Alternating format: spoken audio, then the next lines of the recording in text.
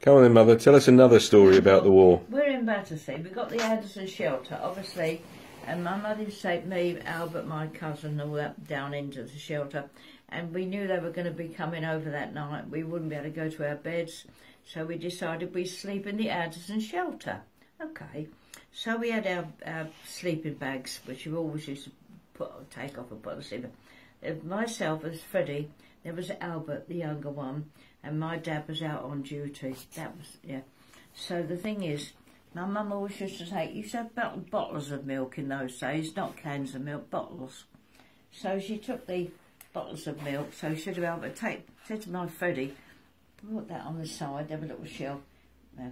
So we're laying in here, and the bombs were dropping, and the shelter was banging. Next thing, this bottle fell down, donk, on Albert's head. He thought a bomb had hit him. Oh, the bomb's hit you! It wasn't, it was a milk bottle that hit him, not the bomb. Mum, it took my mother some little time to calm him down. Said, no, darling, it was only a milk bottle, not a bomb. what an amazing time. Oh, Thanks for sharing, Mum. oh.